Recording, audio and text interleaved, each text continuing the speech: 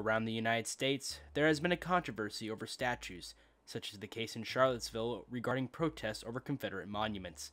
Today, a similar debate is unfolding here in Edwardsville over the statue of Ninian Edwards downtown, which involves two solutions removal or keeping the statue and adding context. We have talked to some members from the community about their thoughts on the debate, and here are their responses. During the summer, um, when there were a number of Black Lives Matter protests, including in Edwardsville, and um, I guess people started looking into this. And so I just got invited to a Facebook group that had formed, and I, I just clicked to see, oh, what is this? And that's when I learned, you know, who was Ninian Edwards, what was his relationship um, to Edwardsville, that our town was named after him, um, what his history was. And so I started getting involved just as a volunteer, you know, joined the Facebook group, was supportive. Um, and I was active. And so one of the, the co-leaders of the group at that time asked if I wanted to kind of step up and also be a co-leader with the group. So in June of 2020, um, I started becoming involved in some of the local protests of the murder of George Floyd. And it was during one of those that I became aware that there was a group that was kind of formed in questioning the history of Ninian Edwards. And um, so I, I joined a Facebook group with that originally and just kind of involved myself in some of that dialogue. Probably around um, July, maybe a month after that, uh, they were actively asking for people within the Facebook group to become more active um, in letter writing and attending uh, city council meetings. Um, and so I started doing that. Uh, wrote a letter to my ward representative, um, who is now our mayor elect of Edwardsville, Art uh, Risavi, and I had some conversations with him. And then I started attending city council meetings. And um, then it just kind of became uh, the people that were mo- most following through with that uh, formed into kind of what stands as our committee right now. With being on city council, um, we had received uh, information from the Our Edwardsville group um, about the Ninian Edwards statue.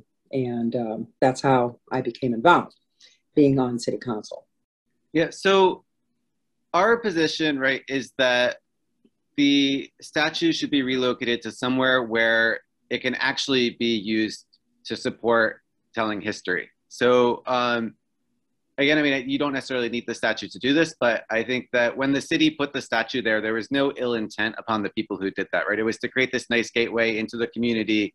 Um, they made this statue, and um, frankly, a lot of, I mean, even even the it was the city manager at the time um, has said, knowing now what I know now, I don't think the statue should be there. And so I think now that we know what we do, um, I think the best option going forward is to move the statue to an educational setting and have context informing people like the website that you're working on about Ninian Edwards history so that they can learn about it? I, I would like to see it be a learning opportunity. Okay. One of my constituents and I have talked at length, and she is of color, and she was willing to assist me in setting up meetings at that plaza to discuss racial issues, to discuss things, to make people learn about each other to decrease the racism. This and to move the statue would kind of it, it really didn't have much to do with it. For me personally um, i agree that one of the main problems with the statue is that there is just a small plaque there that lists ninian edwards um, titles.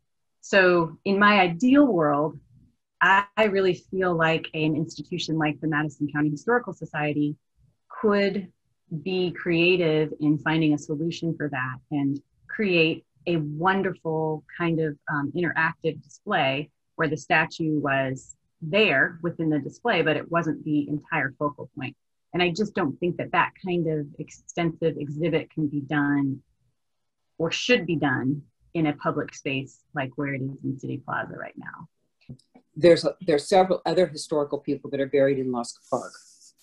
Uh, most people think it's just a park. It's not. It's a cemetery, and so they're wanting to to maybe put Ninian Edwards statue in there, with the history and then some of the history of the others that are buried there. Um, and I, I think that that's okay. I mean, it's just, I'm, I'm thinking of the cost.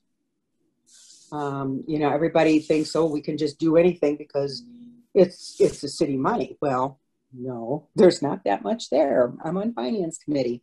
We're doing budget right now, and we have a little bit of a deficit this year. So we, um, you know, it's it's going to be coming up with the money too. Certainly, think um, Lusk has a less prominent uh, spot than Vandalia Street. However, um, you're right that this is a very immediate thing in discussion, and um, the Lusk, uh, the the housing around Lusk and people that live there have um, expressed pretty widely majority that they do not want it there. We have to think about everyone's feelings, whether it's good, bad, or ugly. Let's talk about the history, the true history. Let's try to learn more about each other. And if the statue can help us do that, then I think it should stay where it is or be somewhere in the community for people to think about that. But I don't want it completely erased. If we forget, we're bound to repeat all the bad things that they're saying that, you know, was typical of him, which isn't all completely true either. So history is not just a narrow lens. Um, history requires a full 360 degree view of everyone that's involved then and now. And when you have an, a symbol like a statue, there is an automatic sense of homage that needs to be paid to that statue. Whether you believe that or not, it's sort of an innate response that we have to statues. But when you have a statue in the middle of it of someone that, as I've said, causes a lot of pain for many people, myself included, um, it, it, it takes away the broader, welcoming, positive experience that we can have as a community.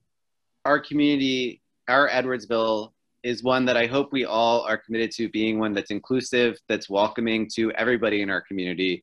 And when the gateway to our community in the heart of our downtown has somebody on a pedestal that you know has furthered the system of racism, has owned people, has furthered that system, has um, you know led atrocities against indigenous people, that doesn't send the message of inclusion. And so, um, you know, we our group is committed to learning our history. Um, having a statue in that plaza on a pedestal isn't about learning our history. And so, you know, we want to relocate this statue to an educational setting, have context around it, and make sure that we have City Plaza be a space that's welcoming to everybody and that that matches the message that our town is meant to have about inclusion and welcome.